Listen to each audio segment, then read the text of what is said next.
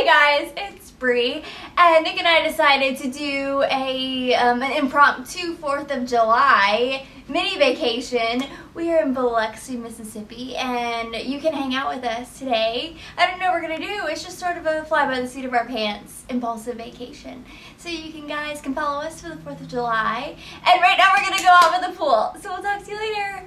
Bye. This is our hotel room. I'll start in the bathroom because I think it's really pretty. There's me. Hi. There's the shower. I think it's super pretty.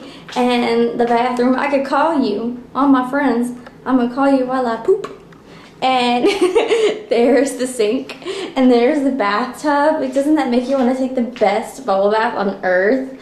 So excited. And there's a magnifying mirror for makeup.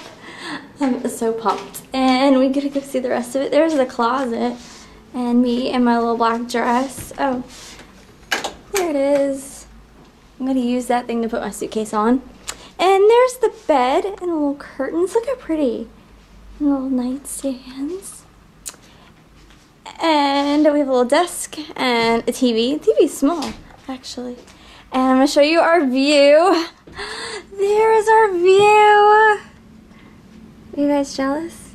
I'm jealous. I want to like be able to stand outside and go look. Oh, look at the water. Oh, look at this. Oh my goodness.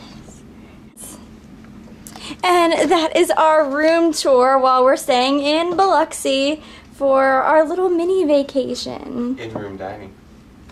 Can we get some chicken soup? Yes. Yay! Steak.